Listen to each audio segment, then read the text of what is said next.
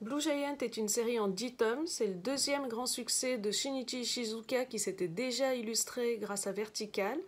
Et Shizuka est un mangaka qui ne parle que des sujets qui le passionnent. Pour Vertical, c'était la montagne. Pour Blue Giant, ça sera le jazz.